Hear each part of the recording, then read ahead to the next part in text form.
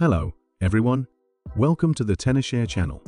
It's the season to change your phone again.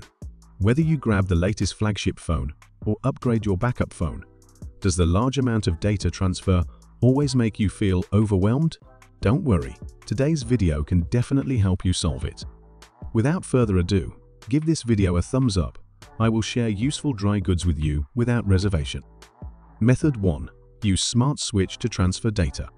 If your new device is a Samsung phone, using Smart Switch to transfer data is undoubtedly the best choice. You just need to make sure that Smart Switch is installed on both phones. If it is a Samsung phone, it may be pre-installed, otherwise, you can download it from the Google Play Store. Open Smart Switch. Select Send data on the old phone and receive data on the new phone. Then you can choose to use Wi-Fi or data cable to transfer. Here we choose Wi-Fi transmission and wait for the two phones to match.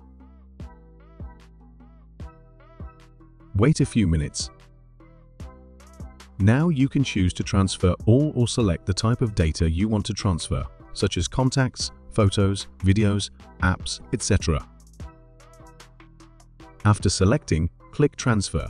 Wait a few minutes, and the data will be transferred.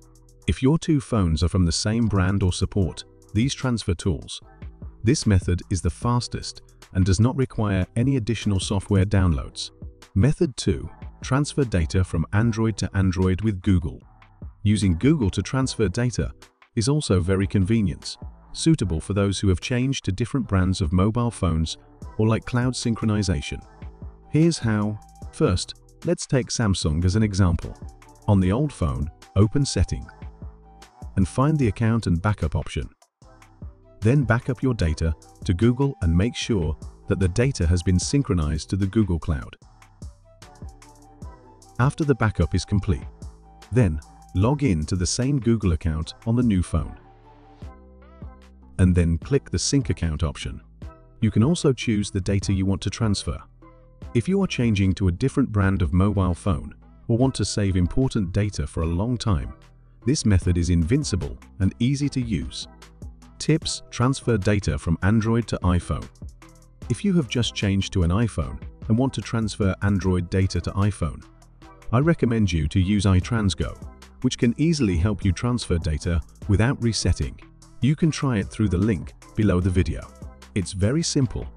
Okay, the above is all the content of this video. Remember to like and share this video with friends who don't know how to transfer data. See you next time